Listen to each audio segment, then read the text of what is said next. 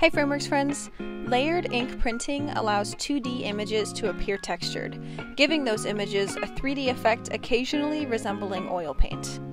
This image has over 20 layers of multiple different colors of ink, giving it a realistic oil painting appearance.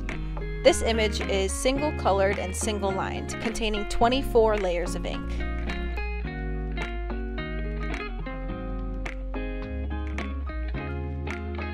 This illustration is a thin and intricate design with 24 layers of blue ink.